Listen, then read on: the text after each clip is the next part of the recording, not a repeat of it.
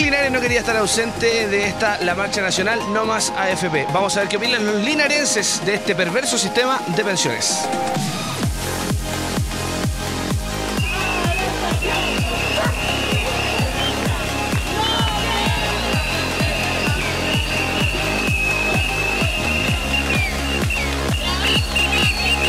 A usted principalmente, ¿qué lo motivó salir hoy día domingo a las calles a, a estar acá en la marcha No Más AFP?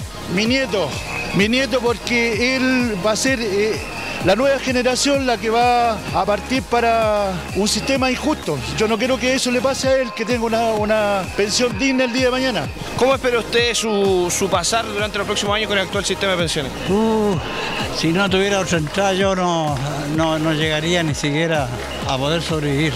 ¿Qué opina de que lamentablemente la ciudadanía tenga que salir a la calle para que sea escuchada? Es que es la única forma. Si no se mete boche, no, no lo escuchan. Hay que salir a las calles porque de otra manera no somos escuchados porque aquí la política en Chile es una política, política corrupta. Y como hay muchos, muchos millones de por medio, todos los que están arriba están recibiendo sus buenas porciones de plata, por decirlo de alguna manera. Nosotros tenemos que luchar para que esta cuestión cambie de alguna vez, de una vez por todas.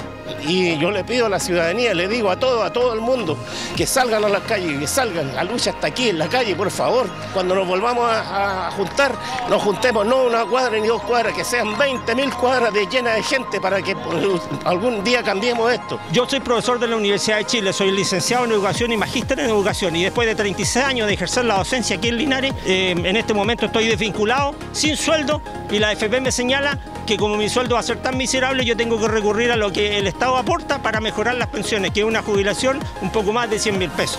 Cuando la televisión dice, no, el, el, el, trabajador ha trabajado en forma discontinua, pero eso recibe una mala jubilación, eso es totalmente falso.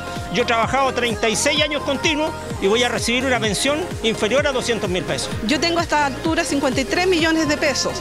Perdí el año 2008 8 millones de pesos por una de las crisis económicas, pero esos 53 millones de pesos no significan nada, porque yo igual si jubilo en tres años más voy a ganar 150 mil pesos, 160 mil pesos. O sea, no me sirve de nada, me he sacado la mugre trabajando tantos años, porque voy a tener a lo mejor que seguir trabajando una vez jubilada. Mi papá se jubiló hace dos años y está recibiendo una, una miseria de pensión. Ahora mi mamá está por jubilarse y eso me, me, hace decir, oye, ¿cómo, va, ¿cómo voy a seguir yo con este sistema? Yo estoy imponiendo, estoy en el sistema de la AFP, ¿qué es lo que voy a recibir yo? Y además tengo una pequeña, una, una hija de tres años, ¿qué le voy a dejar a ella? O sea, nosotros somos los que tenemos que levantarnos a luchar.